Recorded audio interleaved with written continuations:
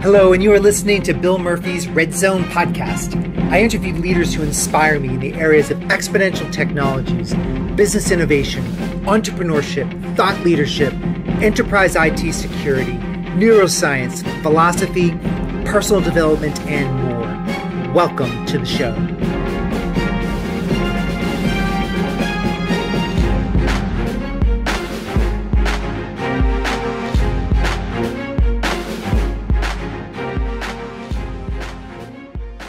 Welcome back to the show, everybody. This is Bill Murphy, your host of the Red Zone podcast. This seems to be a theme over the past uh, month or two where I'm focusing a lot more on how we make good use of data visualization skills. And I think as the profession of CIO and CISO evolves, it becomes critical for the CIO to be able to be a great storyteller and a great storyteller with data in particular. And I think this is going to be a very key leadership trait that the CIO is going to need. So I invited Scott Berinato to come onto my show, and he's the author of a book called Good Charts. The HBR, which is stands for Harvard Business Review, the HBR guide to making smarter, more persuasive data visualizations.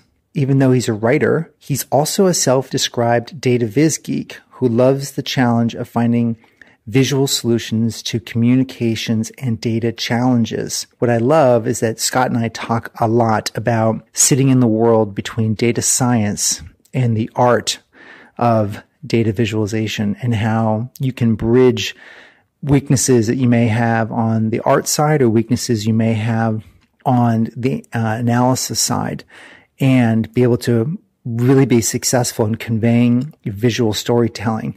Super, super important. Scott's the senior editor of the Harvard Business Review, where he created successfully the visual storytelling formats. And he writes and edits regularly for HBR and HBR.org, focused mostly on stories about data, science, and technology and he launched successful features on the Defend Your Research, and he led a team that launched HBR's iPad app, and more recently led the creation of HBR's Big Idea, a bi-monthly digital long form event. He's also he was an executive editor at IDG, where he wrote and edited for CIO magazine and helped create and launch the CSO magazine. He's a six-time winner of the Jesse H.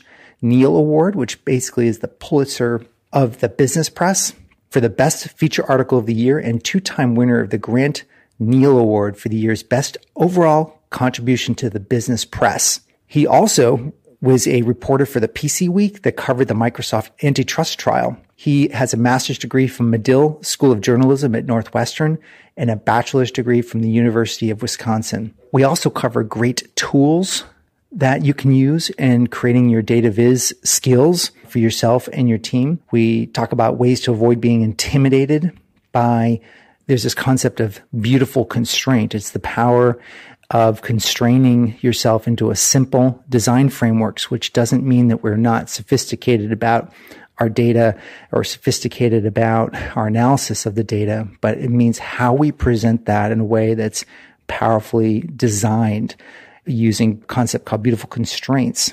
We also talk about even tactics for presenting slide presentations and how you story tell. So the key on this here is developing really strong communication strategies that will enhance your ability to be a leader.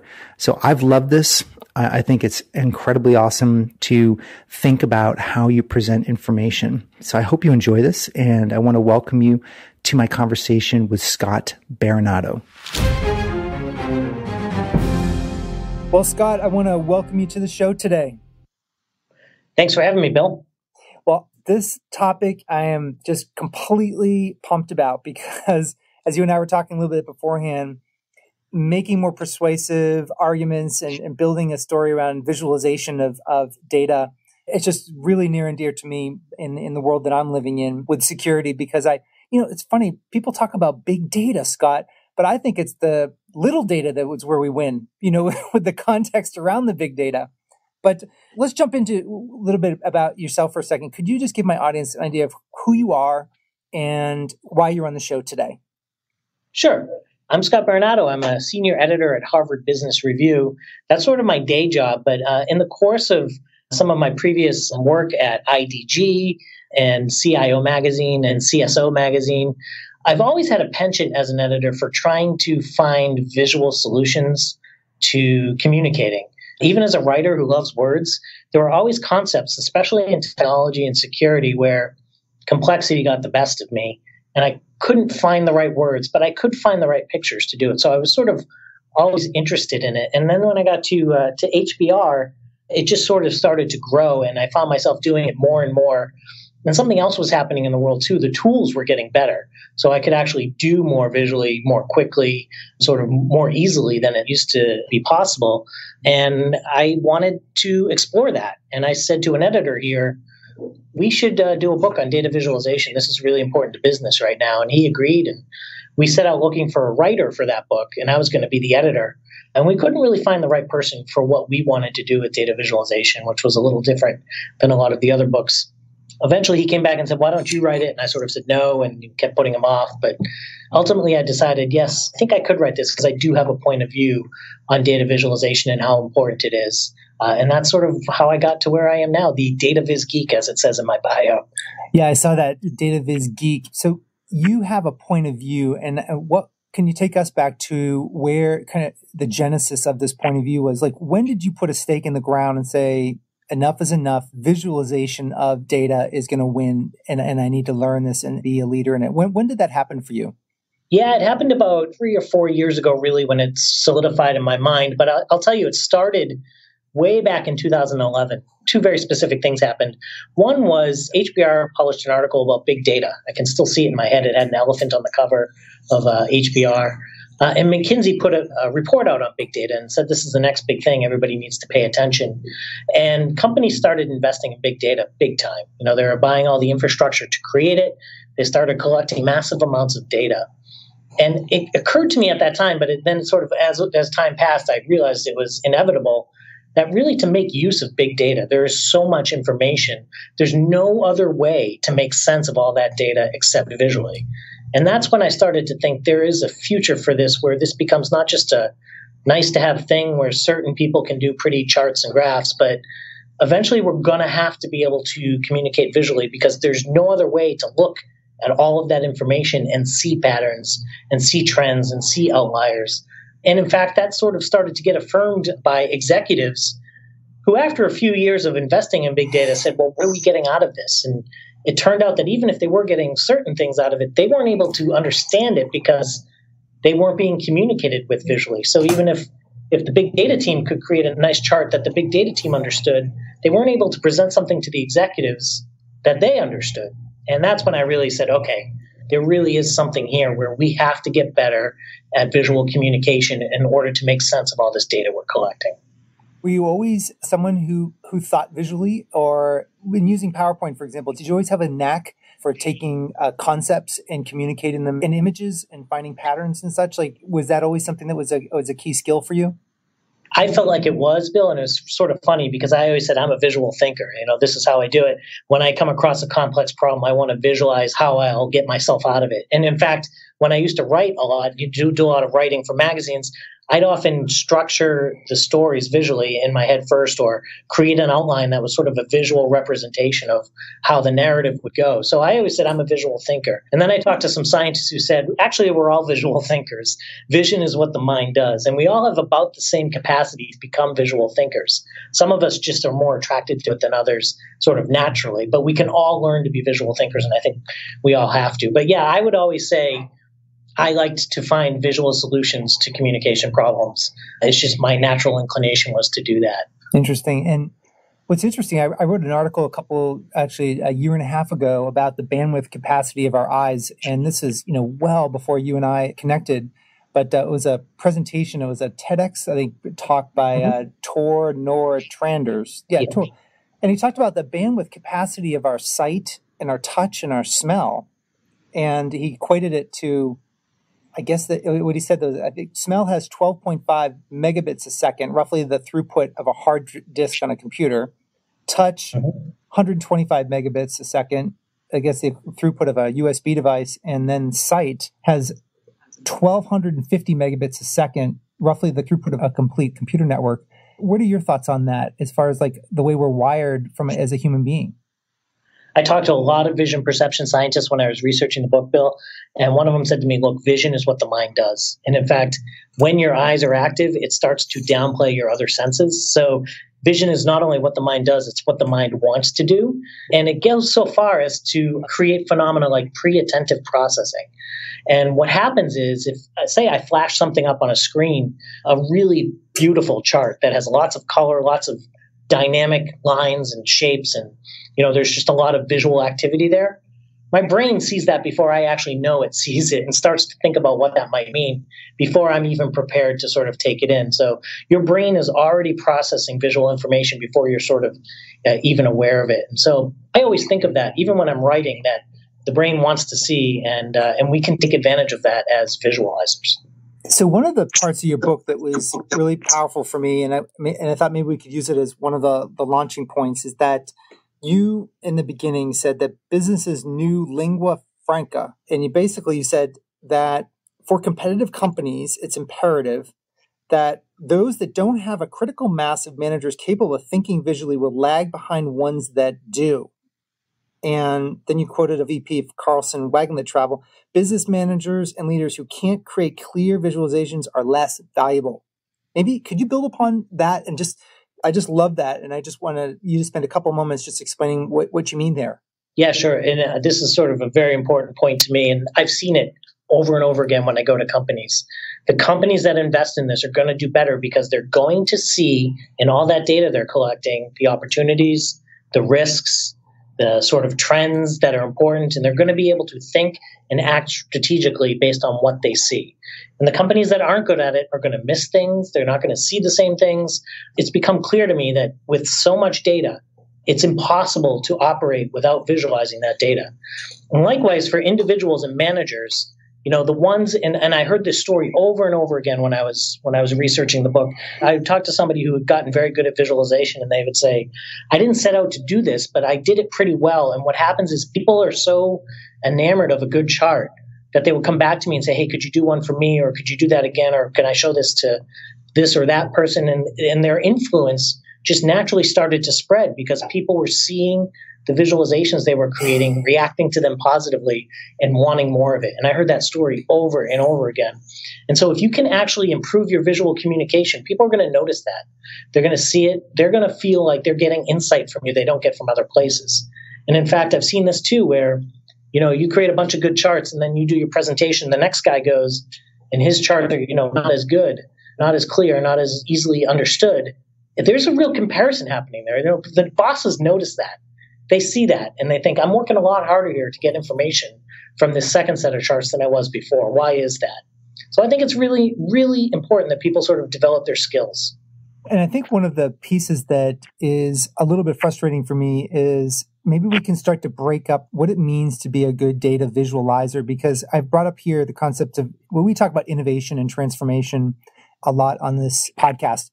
And as we are trying to abstract from complexity and making things simple, there's the need to innovate in how we've always done things. And so, where are you finding the skill sets for a lot of people lacking? I mean, you know, the 40 plus crowd is 40 plus, and I'm trying to get people stop having excuses about why they've done things for 20 years and why they have to change.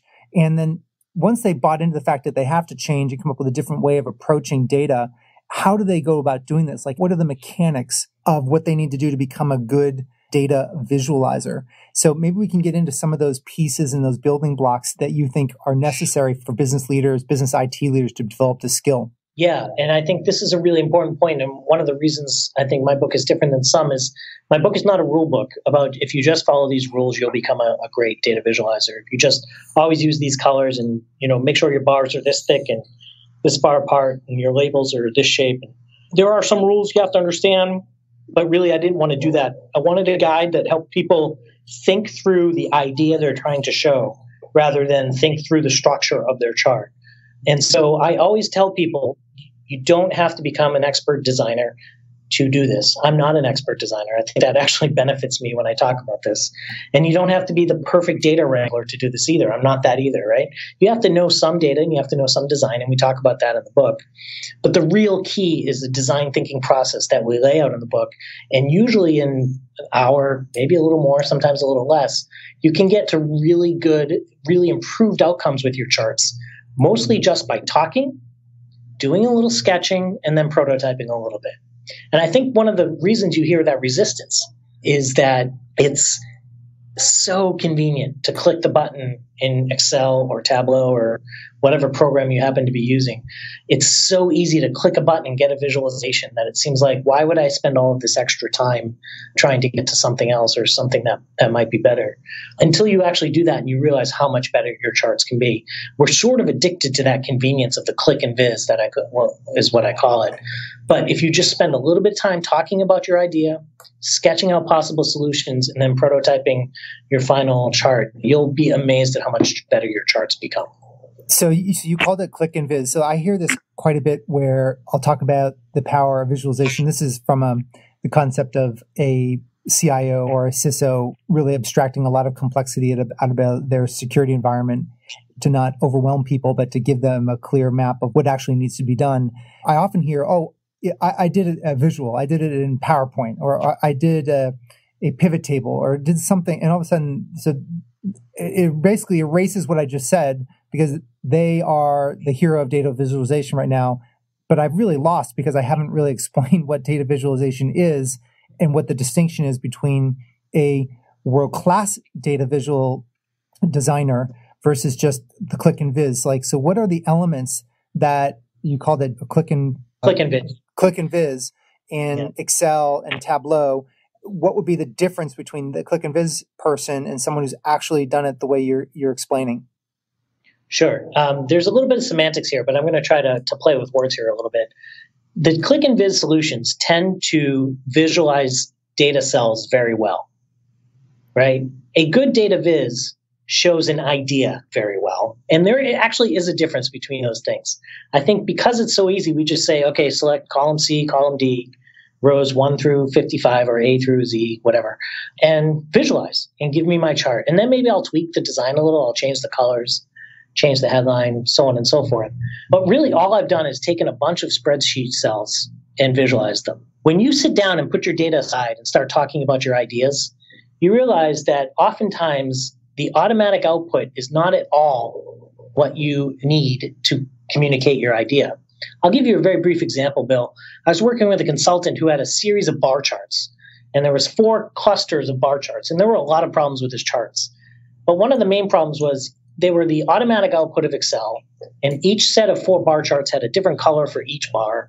Each one represented a year 2015, 16, 17, 18. And he had all these bar charts sort of lined up next to each other. And what you really saw was this sort of overwhelming stripiness, if, for lack of a better term, just stripes of colors.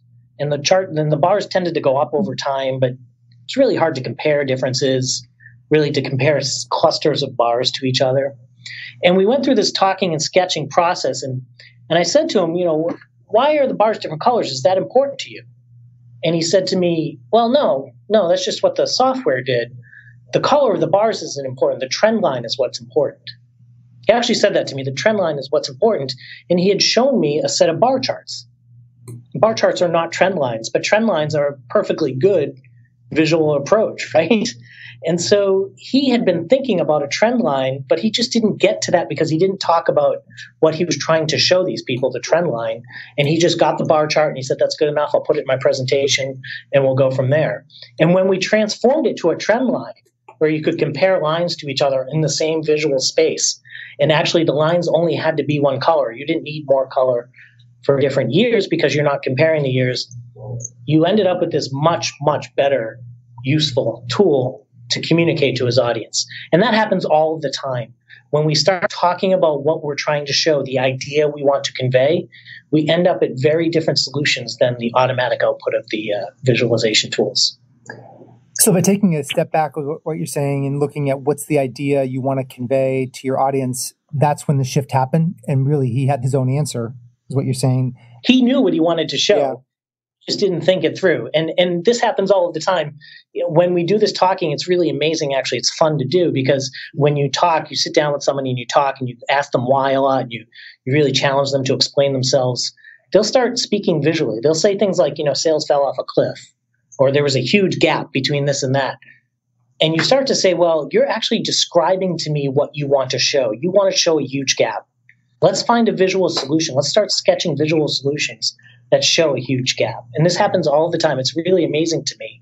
People are just sort of they they almost surprise themselves when they start to hear the words they're using. There was no real trend. It was all over the place. All over the place is very visually descriptive.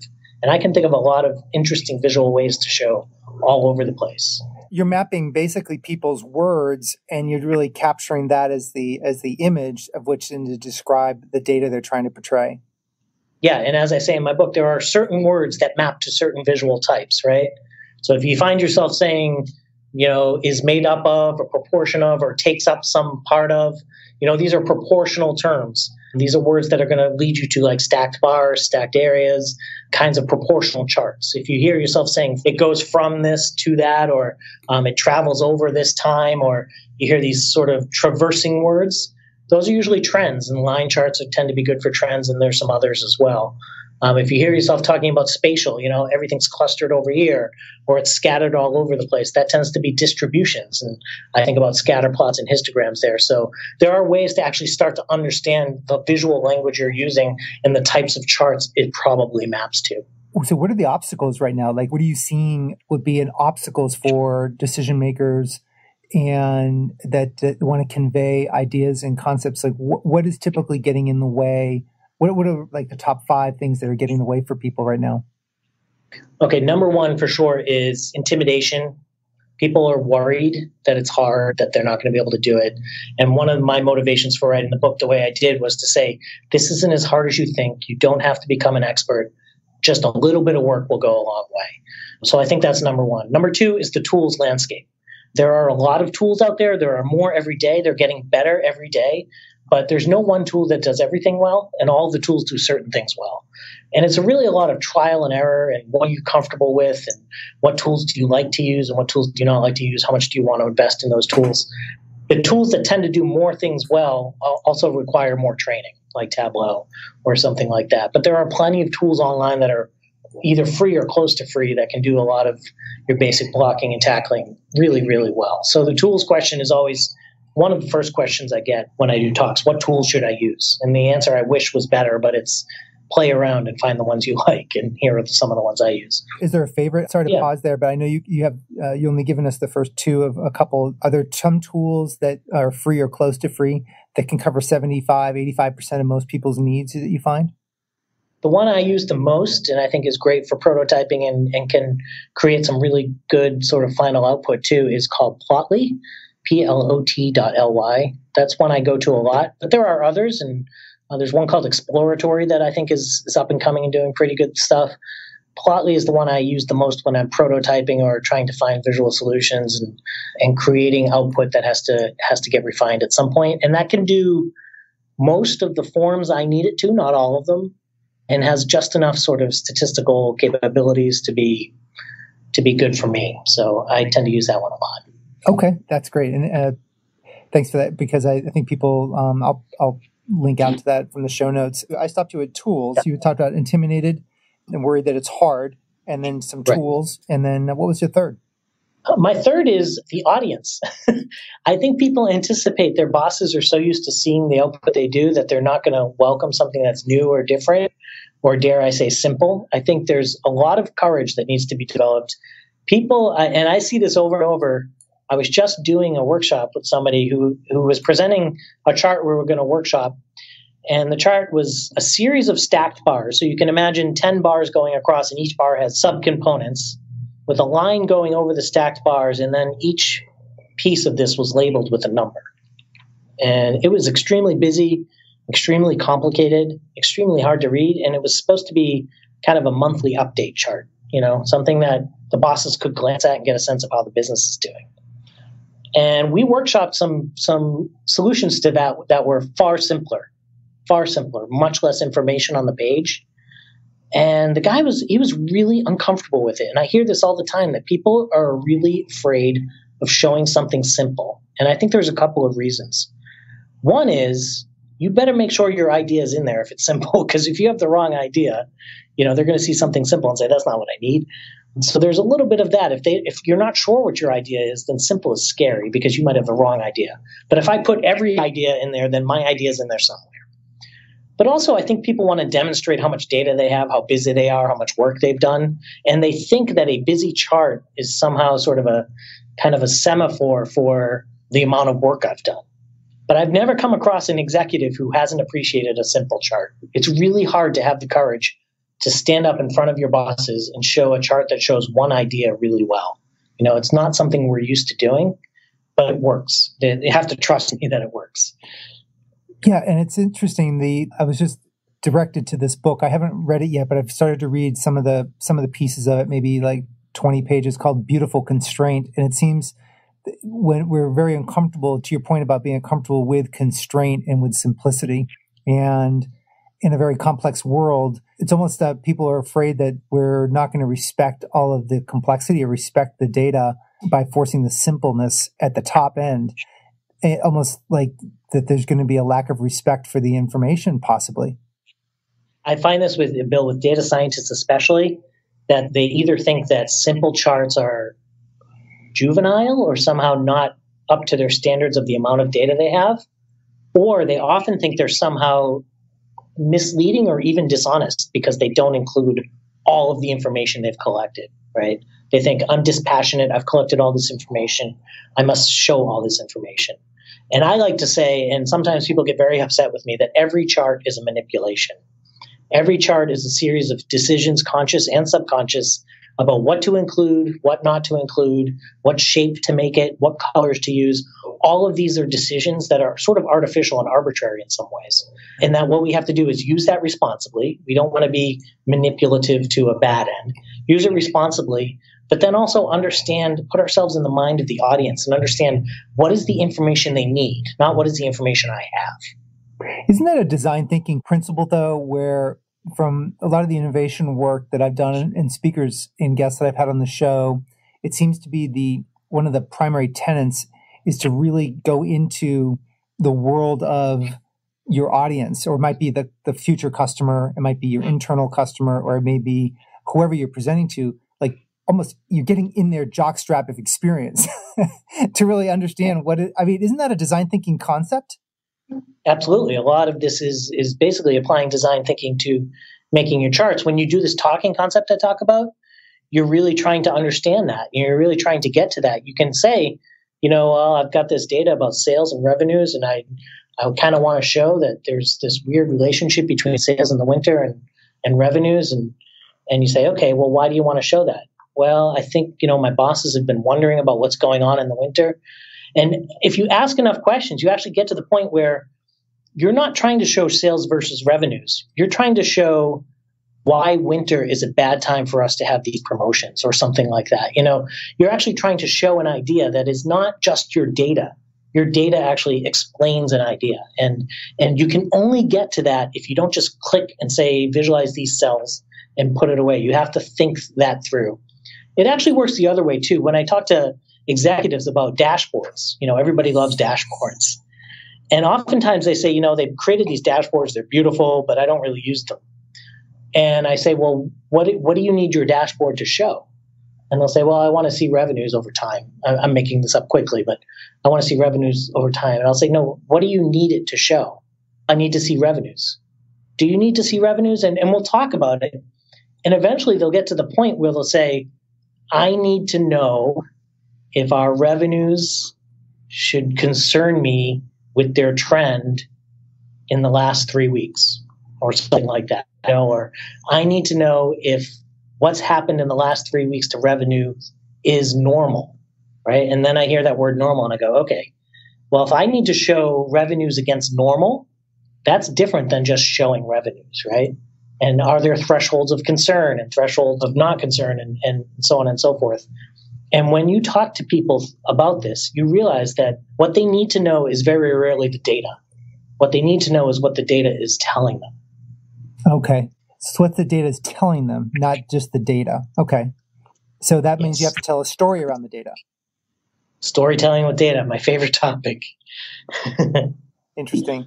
Now, I, I think I make a mistake when I do presentations when I, I can explain, I try to explain a concept in five slides that I probably should spend the time figuring out how to do it in one slide. Where do you know when you've put too much information on a slide versus actually respecting the fact that that one slide could potentially tell the whole story? Like, how, when do you know it's too busy versus it's exactly the point? It's it's perfect. Where would you go to know the, whether you've overdone it? Hmm. Right. Okay. There are a couple of contextual issues here. One is how familiar is your audience with the type of charts and visuals you're using? If they've never seen a dot plot before and you show them a dot plot with a lot of information on it, you're really putting yourself sort of at a disadvantage because first they have to figure out what it is. Then they have to figure out how to use it. And then they have to figure out what this particular one is saying, right? So with new chart forms, with ones they're not used to seeing, you should be as simple as possible. If there's a particular type of chart, you know, a monthly forecast chart that they're used to seeing, you could probably get away with a little more complexity. But I will tell you, Bill, I am of the, especially in presentation settings, I'm of the mind of one to two ideas per slide at max. If you have more ideas, then you should break it down into many simpler slides. And it's sort of fun. I do this because my, my presentations are actually very rarely more than one idea on a slide. I'll ask people at the end of my presentation how many slides they thought my presentation was. And the guesses usually range between 30 and 70. And my typical presentation has between 130 and 160 slides. I see. That makes sense. So you're you're not shying away from the amount of slides. You're just really respecting the one to two ideas per slide, but you're just moving through it. The the number of slides is the wrong metric to think about. Okay. The right metric to think about is how many ideas per visual field, right? Per slide in this case. And really, when you have one idea on a slide, guess what? You only have to spend four seconds on that slide. People will see it and get it, and you can move to the next one. This is really great for visual storytelling too, where I can build a story with very simple ideas, sort of sort of sequenced. Uh, I do this a lot with one of my storytelling presentations, where I'll take a really simple chart. It is a chart of the price of peanut butter over a decade. Literally, time on the x-axis, price on the y-axis, and one trend line and I say to people, how many smaller sort of visuals do you think I can make this to turn this into a story? And they say three. And I can actually break that down into seven smaller pieces to tell a story. Now, every piece I'm only spending two to five seconds on, rather than putting the entire story up there and then explaining what everybody's looking at while they're looking at it. And it's a really great way to get your audience to focus on one idea at a time.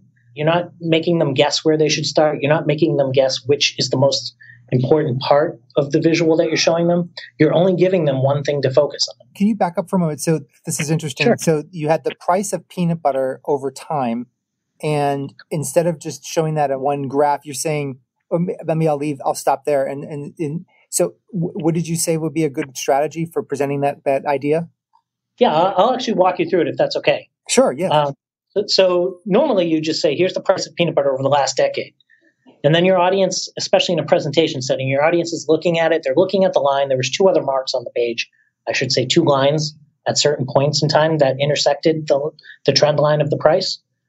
And they're looking and they're trying to figure out what everything means and, and where the price is going and why am I why am I showing you this, right? So this is what I do. I take the X and Y axis and I say, what happened to the price of peanut butter as a headline? And I have an X and Y axis and it says time on the X, and it says price on the Y, and it's blank. And I say, we're going to talk about peanut butter prices. And then I f- click, and then part of the trend line appears. And I say, for five years, peanut butter prices were steady. And people can see that because it's the only idea. It's sort of a flat okay, line. Okay, I see what you're saying. Okay. okay. And I say, but then something happened, and I draw one of the lines that intersects. There was a drought. And I say, what do you think happened to peanut butter prices after the drought? And I actually invite people to speculate because now I'm getting them to engage in the presentation, right? I'm get, okay. I'm getting them to think ahead.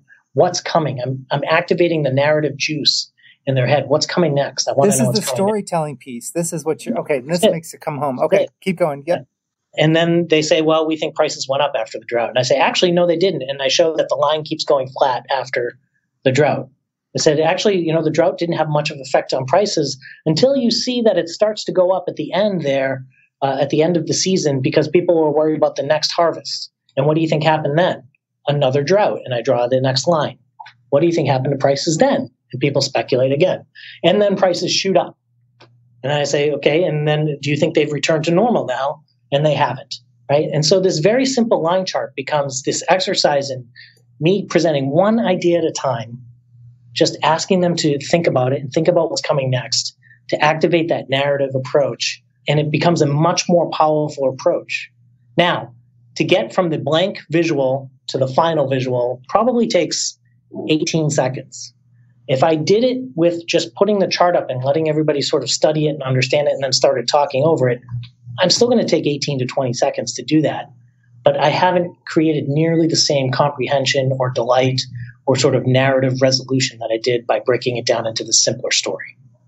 This is great. No, I think this makes it come alive from the parts that I was reading in the book about it. I, I love it because I can. I mean, I just I made these mistakes last week. You know, I, just, I mean, this is this is. I think make, we all have. This is a common mistake we make in our presentations. I like to tell people who worry. They say I have a slide quota, and I tell them to tell their bosses slide quotas are the dumbest thing in the world because it's not the number of slides, it's the amount of information on a slide that matters.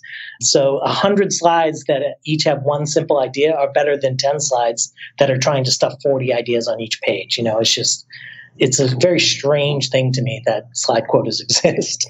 But one of the things I get stuck with, because I get it, I, I really understand what, where you're going here. But the problem, what I would have is the images that support that. Like I would know that what I would want, but then I would basically try to go to steal images from Google Images on the concepts I'm trying to make. And of course, I, you know, I've already had to pay fines for doing that before, and I'm trying to figure out how to, like, where would I go to to build some of these the images that I want? The images in terms of the charts? Yeah, the images in terms of the charts. Yeah.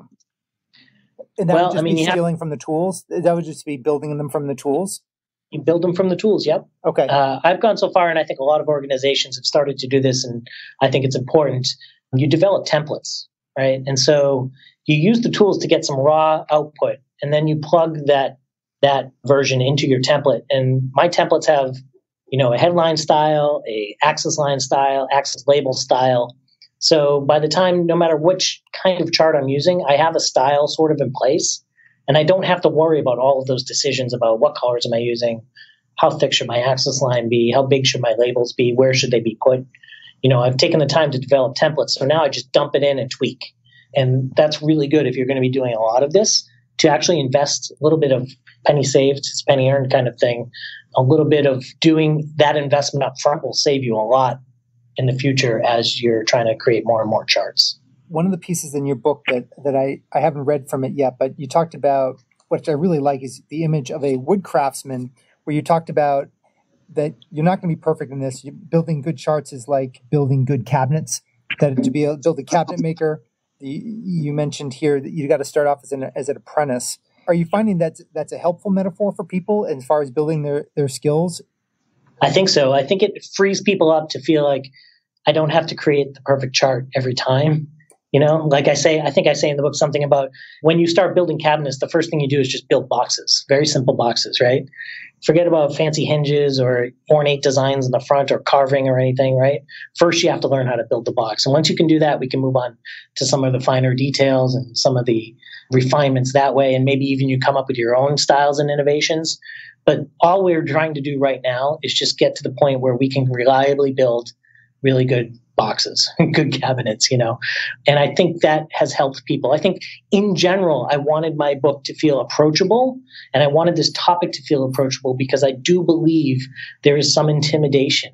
When people start to research data viz, when they go onto Twitter and look up, you know, the hashtag data viz, there is a bit of an impressiveness and a judginess to it. Everybody's judging everybody's charts, talking about what they like, what they don't like, and and people are sort of intimidated to get started. And what we're trying to say is it's going to be okay. I'm putting my arm around the reader saying, don't worry about all that. That's fine. We're just going to get a little bit better than the standard output you're used to doing. And you're going to see an outsized impact from just getting a little bit better. So you mentioned the part about the courage uh, needs to be developed. I, I, have a question just to reverse it. So what happens if you feel pretty strongly about the, your ability to tell a story around the data, but you're just not as comfortable with the data itself?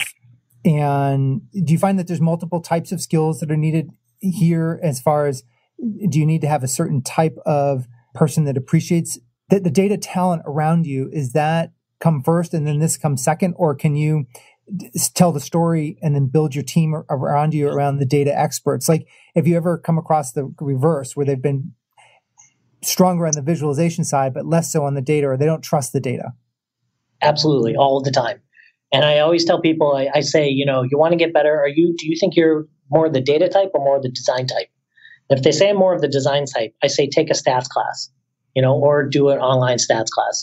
Just get yourself familiar with data, data processes. Don't become an expert. Just get the basics, you know, some of the basics. And likewise with data people, I say take an intro design class just to understand. I also like to say that whenever possible, especially in organizations, if you really want your organization to get good at this, don't look for unicorns. Don't look for the guy who's really good with design or the girl, the guy or the woman who's really good with design, who is pretty good with stats and knows what the subject matter as well. I really advocate for building a team where you have a subject matter expert working hand in hand with a designer and a data expert, you know? And maybe one person has two of those skills, but not all three. Maybe one person has one of those skills really strong and a little bit of the others. It doesn't matter, but start thinking about working in teams and bringing together people to work on this together and appreciate what each brings to the table. I've seen a lot of companies start to do this and it really pays dividends. This is how I work on them here. Oftentimes, I, I, have a little kitchen cabinet of folks, both data folks and design folks, who I can turn to when I have a challenge and say, This is what I'm trying to do. Can you help me? Or, you know, I'll use them to bounce ideas off of. And it's really important to start thinking about this as a team game again, because that's the way it was for a long time.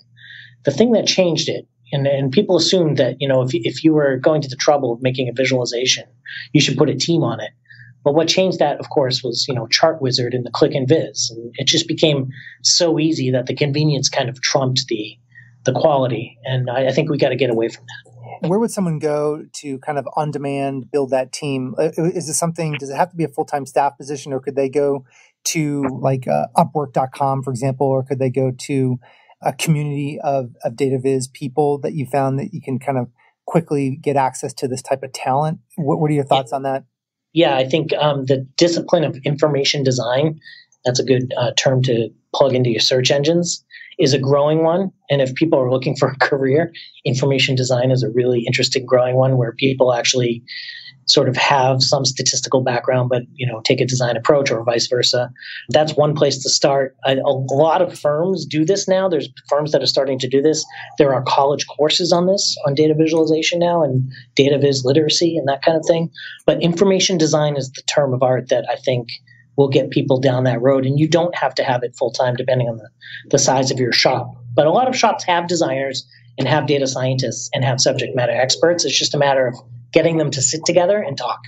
Well, what's really interesting is that, you know, you talk about, you use the word prototyping, and a lot of times in the innovation and transformation space, there, you know, this lean and kind of rapid prototyping and this design thinking model. I think sometimes we have to we have to remember that some of us are in the the soft space where we're just our product is data versus our product being a widget or a project being something we can hold and is malleable. So it's interesting what you're talking about here. Some of the concepts is how we approach data as a design thinking process versus the outcome being something that is physical and tangible. Absolutely. That's couldn't have said it better myself. Well, so how do we how do we wrap this up here today?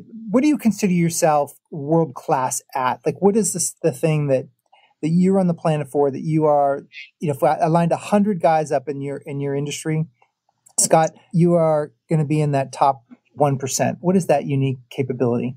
Oh boy, that's that's a tough one. But I think it's the craftsman approach to this, right? I okay. think it's the ability to, uh, you know, I am in, in some ways, I'm a generalist in a world of specialists, right? I do know some of the data. I do know some of the design, but I'm neither a data scientist nor a designer. But I understand this as a craft and something that can be sort of developed as a skill over time by understanding the craft, understanding the science, understanding the art of it, and appreciating every piece of that. And I think when you free yourself from sort of the biases of data science and the biases of designers, and just think of this as its own unique craft, you know, as cabinet making, right?